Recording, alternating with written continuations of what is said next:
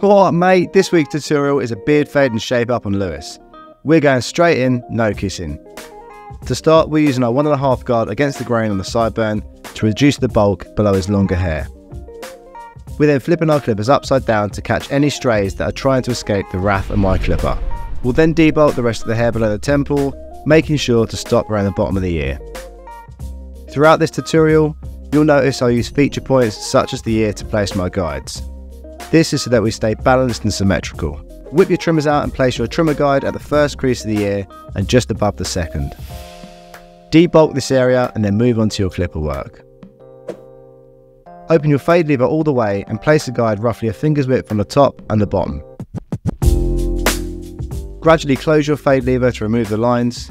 Personally, the method I like to use is as follows.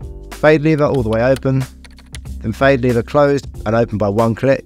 Use the corner of the blade to pick out the dark spots, then open your lever by an extra click to refine. If you're wondering what the hell I'm waffling about, most clippers these days come with click levers so that you can easily work out where you're at. If you haven't got one and you're interested, head down to the description where you can find an exclusive discount link just for my subscribers on all barber tools from barberblades.co.uk. If there's still a line between the open fade lever and the one and a half, then grab hold of your half guard and chuck her on the clipper. First, use it with an open lever and gradually close it to remove the shadows that might be left.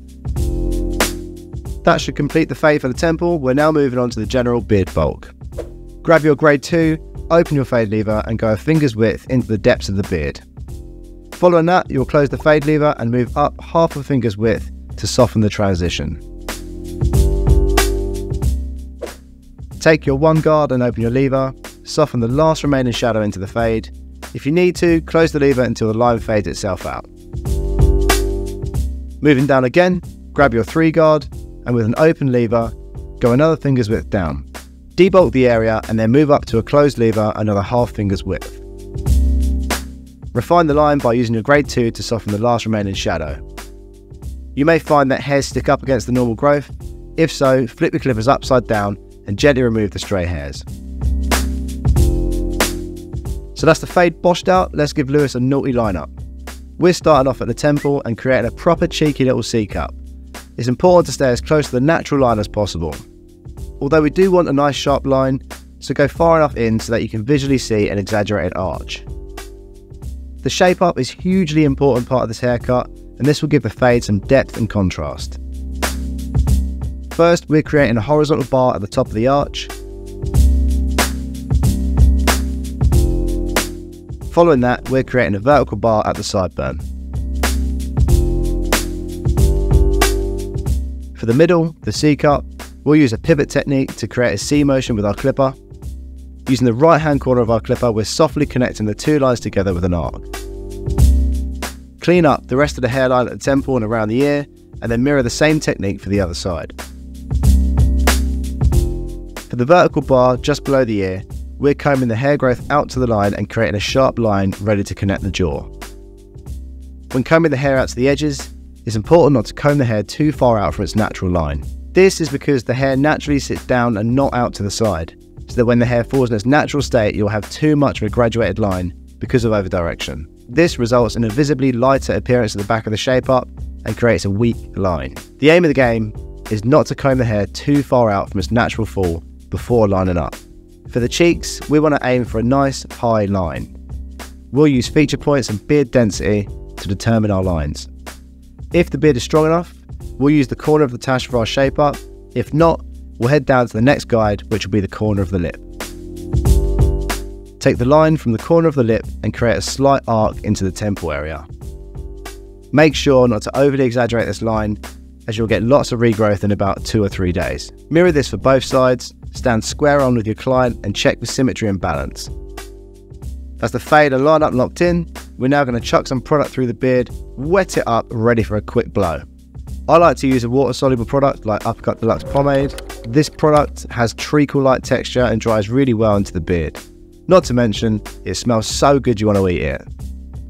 Take a finger's width worth of pomade, warm it through the palm of your hands until it's almost invisible, and evenly distribute it throughout the beard. Wet your hands and run them through the beard, making sure the beard is nice and damp. The product and water through the beard will help us in expanding the shape with our blow dry, ready to sculpt the beard with clipper over comb. Grab your dryer, place it on a low speed, medium heat setting, and using a round brush, grip the hair from underneath the chin and work up. Curl the beard in the opposing direction, straightening the curl.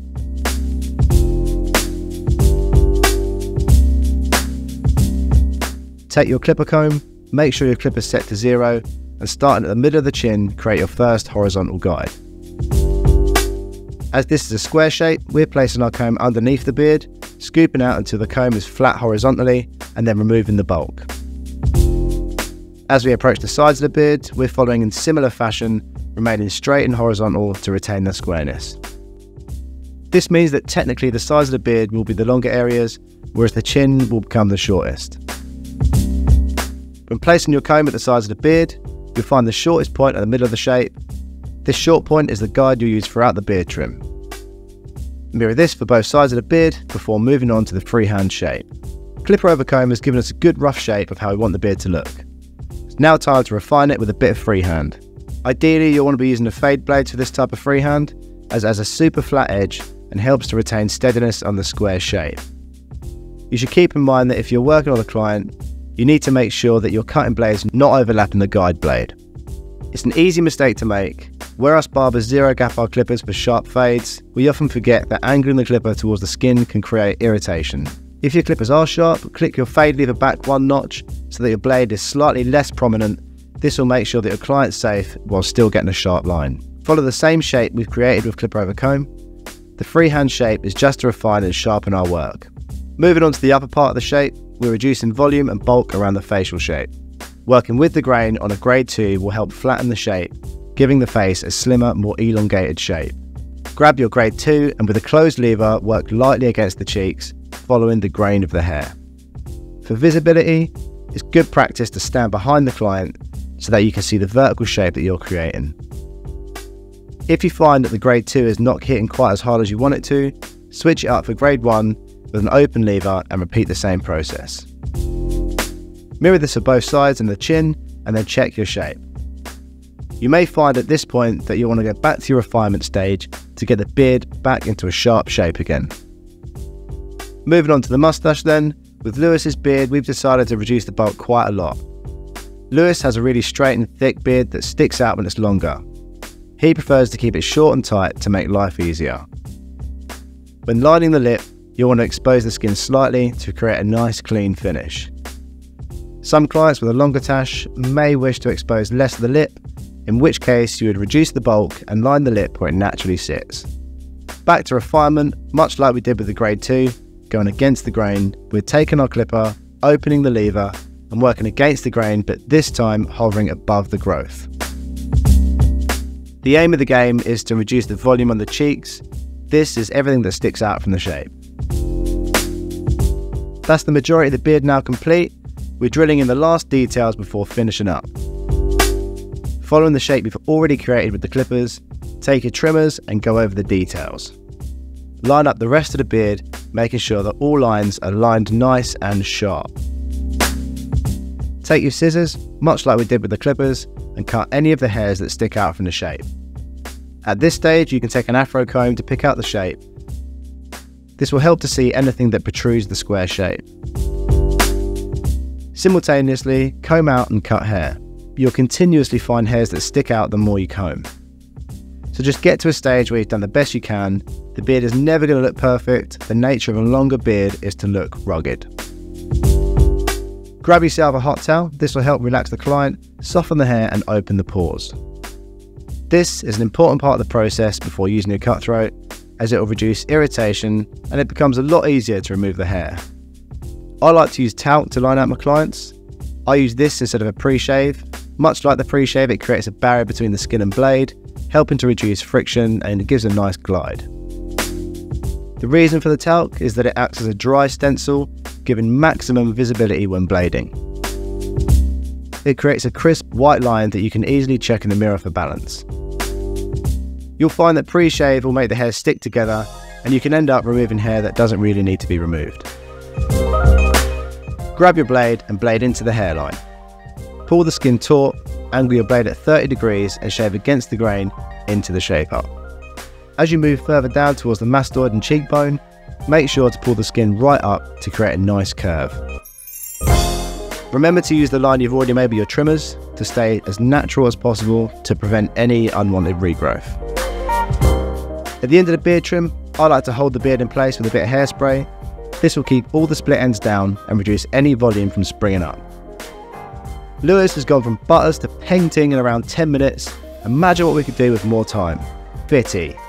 Be sure to check out the beard playlist for more beard trim tutorials or check out the haircut playlist on all things fades and scissor work. I'm CMC Barber. Thanks for spending your time with me. I've enjoyed every second of it. Laters.